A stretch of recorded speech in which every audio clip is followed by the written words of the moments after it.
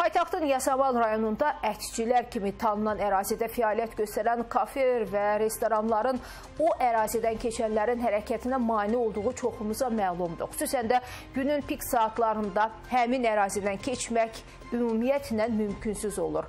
Bunu nəzərə alan aidiyyatı qurumlar ərazidə təmizlik işlərinə başlayıblar.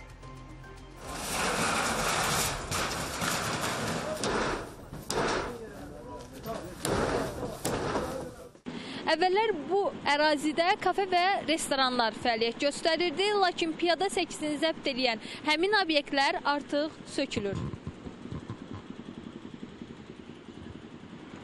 Yasamal rayonu Məhəmməd Xiyabani küçəsində uzun müddətdir kafelərlə yanaşı xırda buynuzlu heyvanların satışını həyata keçirən obyektlər də fəaliyyət göstərir. Obyektlərin ərazisini genişləndirmək istəyən bəzi sahibkarlar hətta piyada səkilərini zəbt ediblər. Bu da həmin ərazidən istifadə edənlərin narazılığına səbəb olub. Söküntü işləri zamanı məhz həmin maneələr aradan qaldırılıb. Uzun müddətli antisanitariya baş alıb gedir burada. Həm də ki, insanların haqlı narahatçılıqları var ki, piyadaların gediş-gəliş yollarını zəbt ediblər. Orada gördüyünüz kimi manqallardır, ət kəsimidir.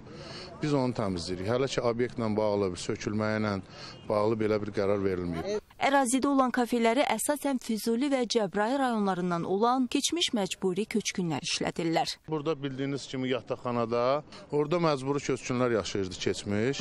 Onların burada e, iş fəaliyyətini onlar qurub burada. Artıq onlara Qobu yaşayış massivində evlər verilib, köçürülüb. Burada gördüyünüz obyektlərin qarşısında, piyada keçidlərinin qarşısında olan obyektlər əksəriyyəti kulyonkadan idi. Burada yəqin ki, o qədər xəstələb olunmaz da.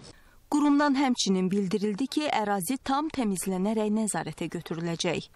Səbinə Həsənova, Cavad Qədirov, Südabə Sabir qızı, Ayır bir xəbər.